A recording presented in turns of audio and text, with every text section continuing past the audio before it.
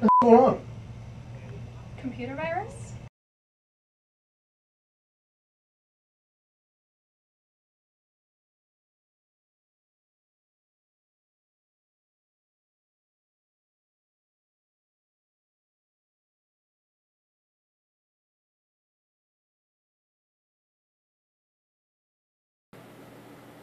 My name is Aaron Lawler, and I approve this message.